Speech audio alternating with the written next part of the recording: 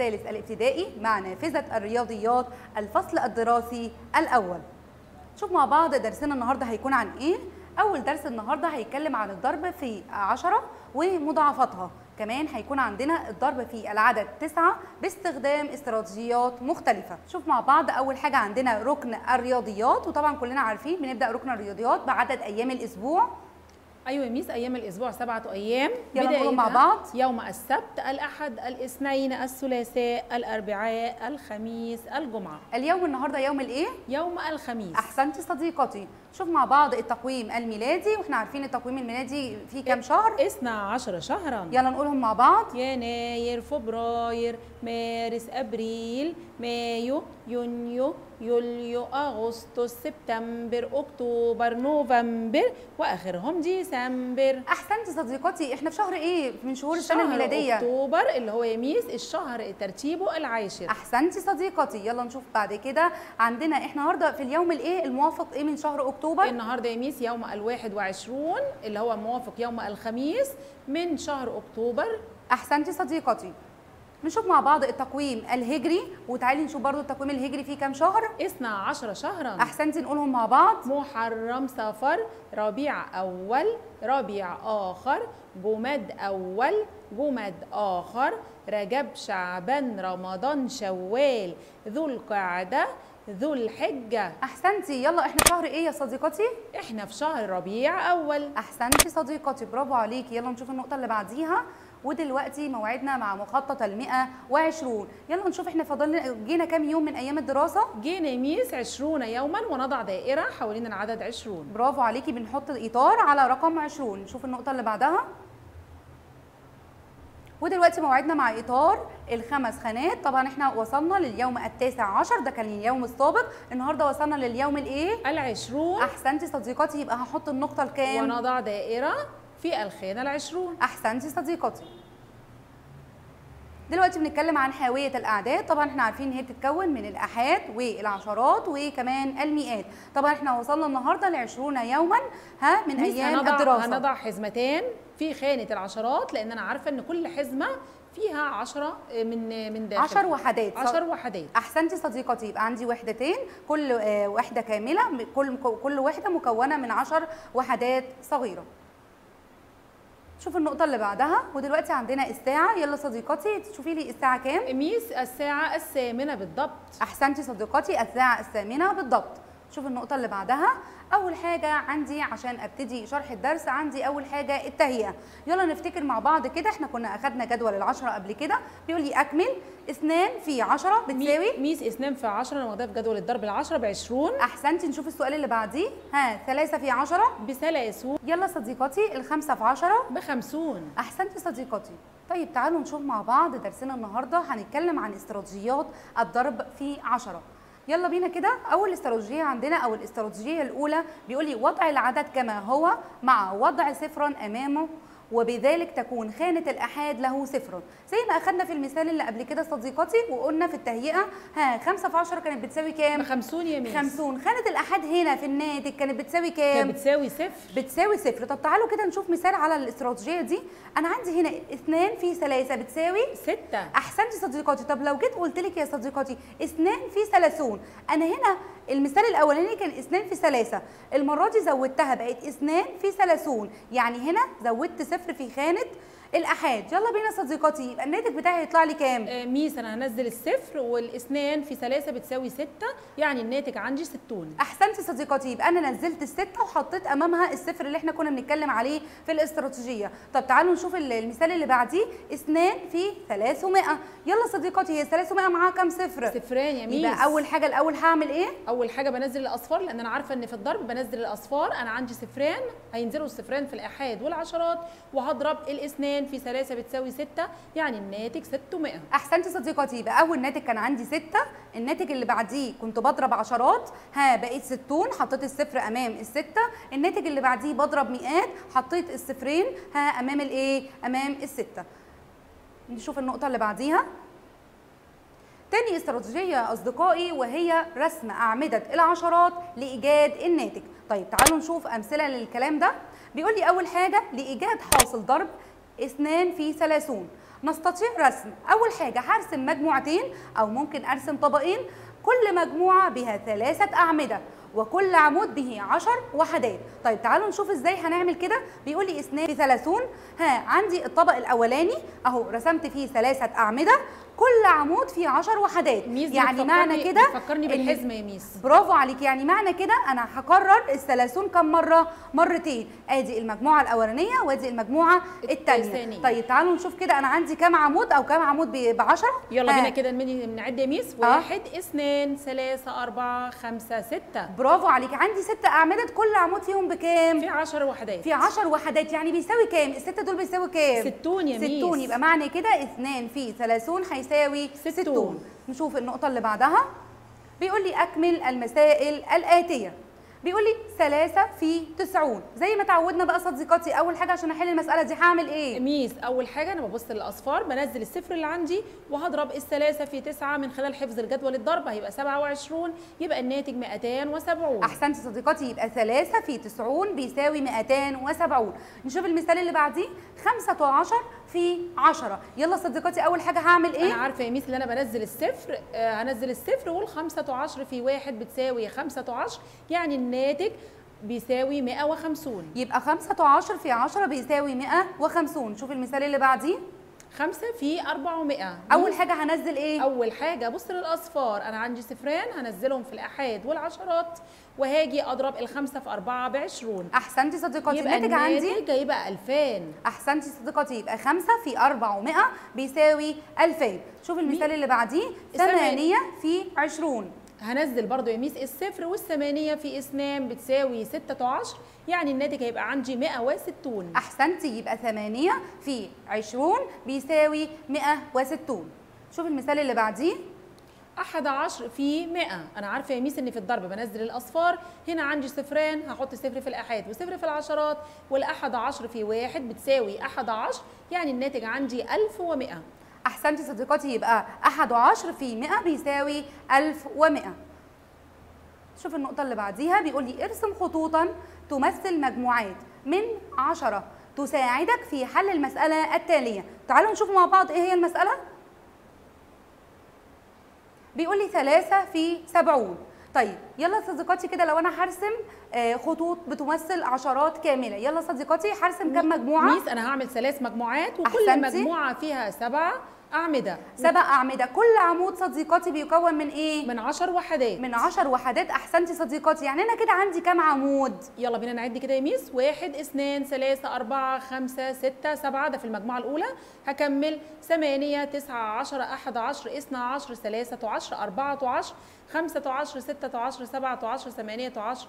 تسعة عشر عشرون واحد وعشرون. برافو عليكي. طيب وقلنا كل واحد فيهم بيساوي إيه؟ عشر مكون من وحدات. 10 إيه؟ من 10 وحدات. أحسنتي صديقاتي طب لو عايزة أحل مسالتي دي اللي موجودة على السبورة ها؟ ميس أنا عارفة إن في الضرب بنزل الأصفار. هنزل الصفر والثلاثة في سبعة بواحد وعشرون. هنوصل لنفس الناتج برضو من خلال عد أعمدة العشرات. هيساوي 210 أحسنتي صديقاتي يبقى 3 في 70 بيساوي 210 شوف النقطة اللي بعديها. الضرب في مضاعفات العدد 10 تعالوا نعرف إزاي هنضرب في مضاعفات العدد 10 بيقول لي أول حاجة عند الضرب 3 في 40 يمكن استخدام طريقتين. تعالوا نشوف أول طريقة. وبيقول لي أول طريقة يا أصدقائي هي طريقة التحليل. طب يعني إيه طريقة التحليل؟ بصوا كده معايا يا أصدقائي المسألة بتاعتي بتقول لي 3 في 40 طيب أنا أقدر أعرف يا أصدقائي إن طريقة التحليل ده إن أنا ممكن آخد الثلاثه هضربها في أربعة. تمام؟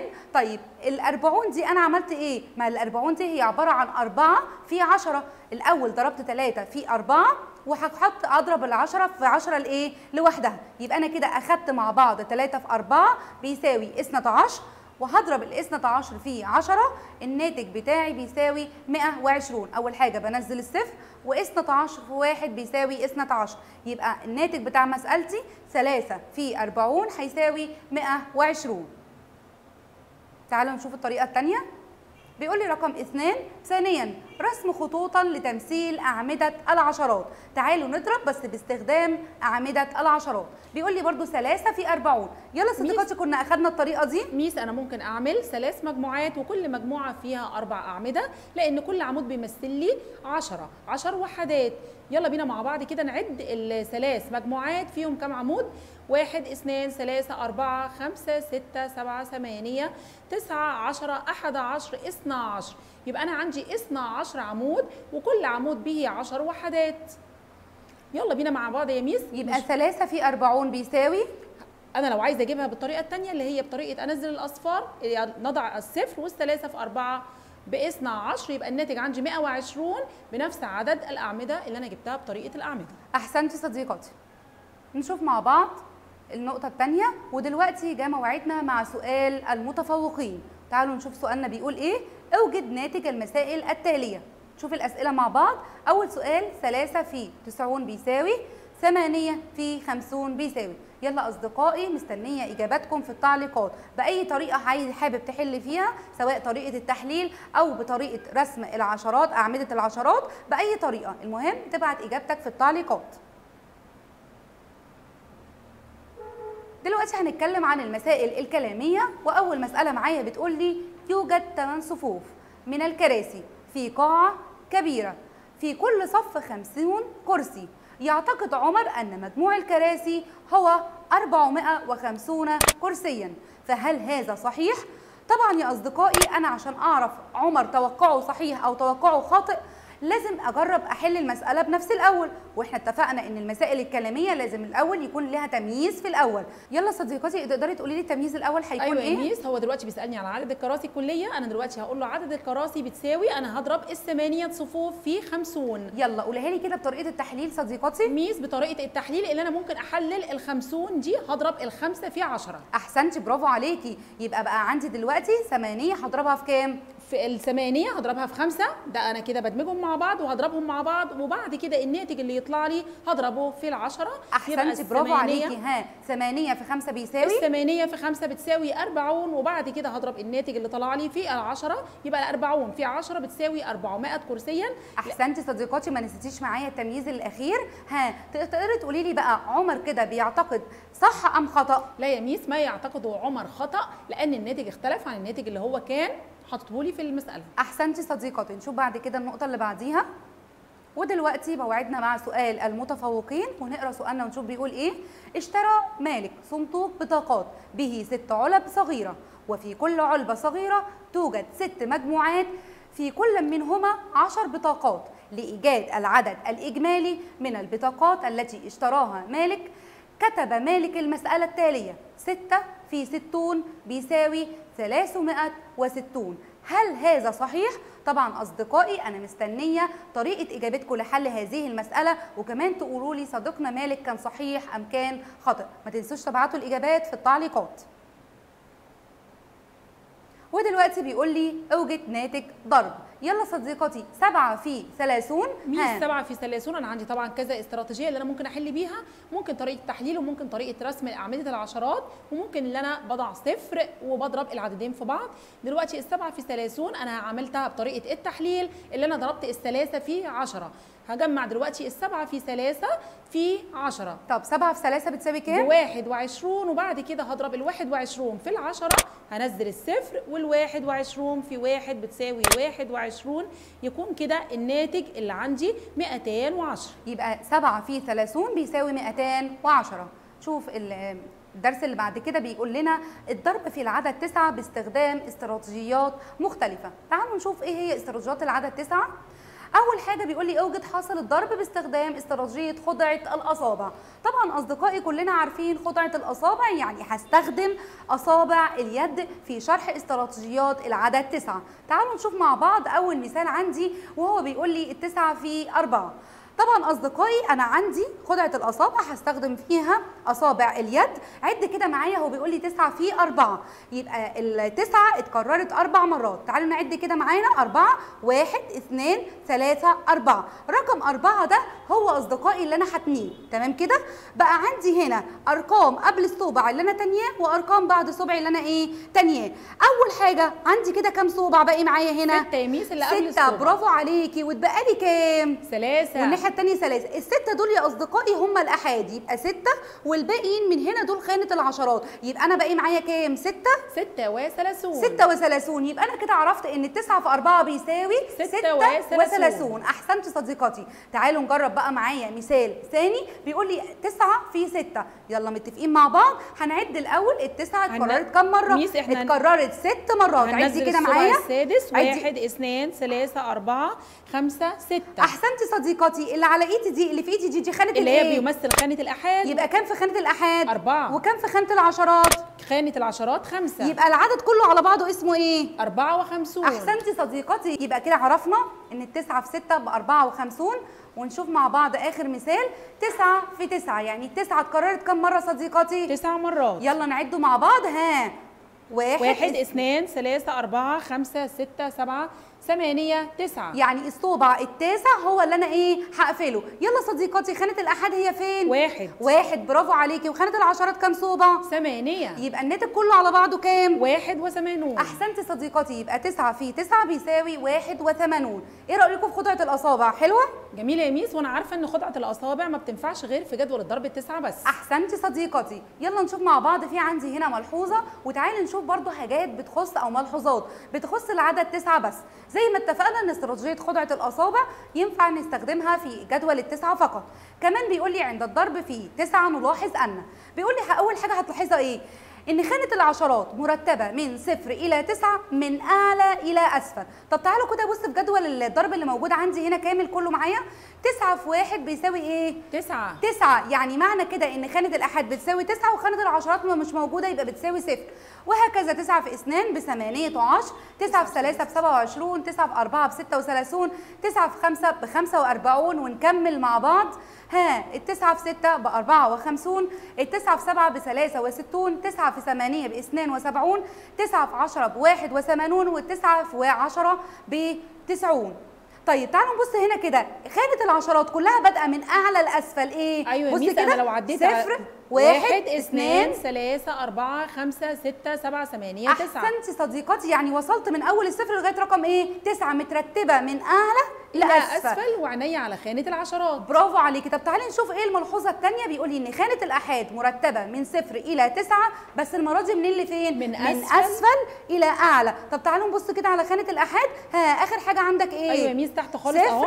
واحد اثنين ثلاثة أربعة خمسة ستة سبعة ثمانية أحسنتي تسعة. صديقتي مرتبة من إيه؟ من أع... أسفل من أسفل. إلى إلى أعلى. أعلى. من صفر لغاية كام؟ تسعة. لغاية تسعة. أحسنتي صديقتي طب تعالوا كمان نشوف ملحوظة تانية.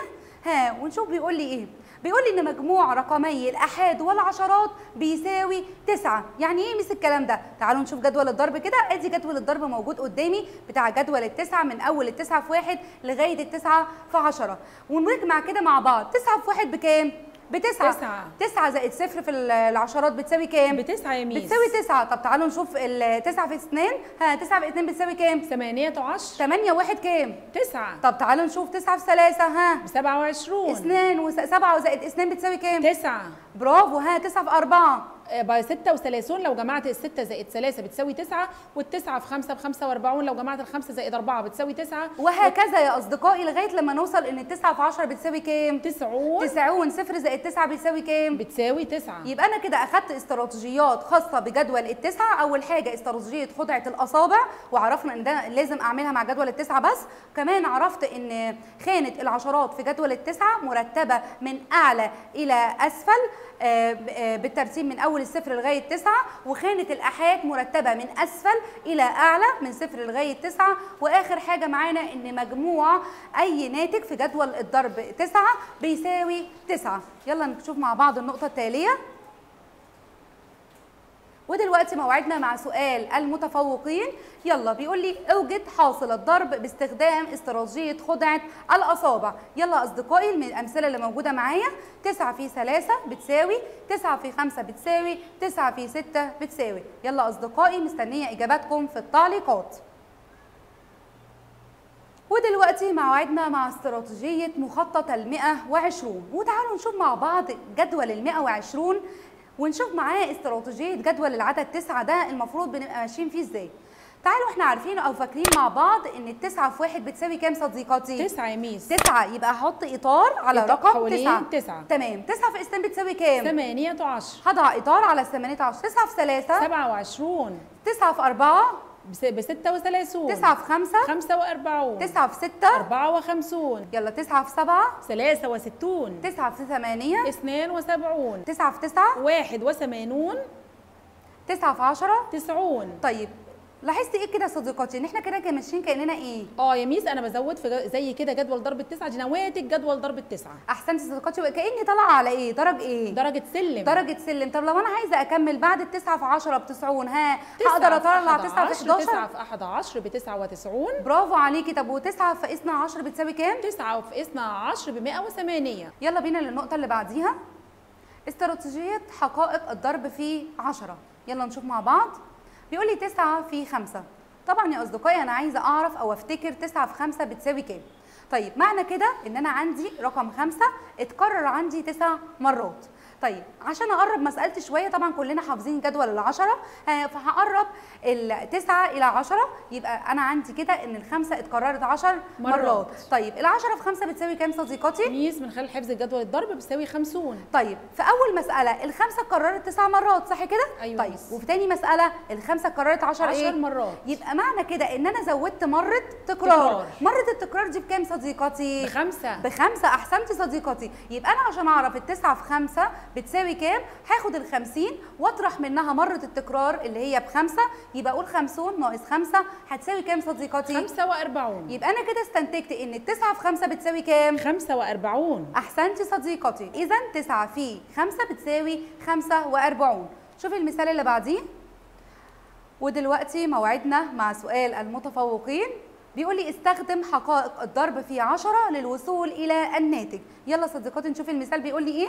9 في 7 زي ما حلينا السؤال السابق عايزة حضراتكم تحلوا هذا السؤال. ما تنسوش إجاباتكم في التعليقات.